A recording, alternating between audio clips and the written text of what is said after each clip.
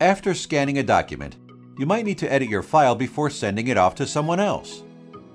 In this video, I'll show you how to make your scanned PDF files editable in seconds. First, let's import a scanned PDF. PDFelement will inform you that you are opening a scanned document and suggest that you perform OCR. Let's go ahead and click Perform OCR as suggested, then make sure you choose the editable text option.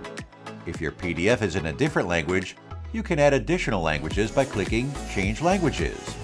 Here, you can check the boxes to select multiple languages, then hit OK. To exit the window, hit OK again to start performing OCR. Once the OCR is complete, you can select and edit text as you would on a normal PDF.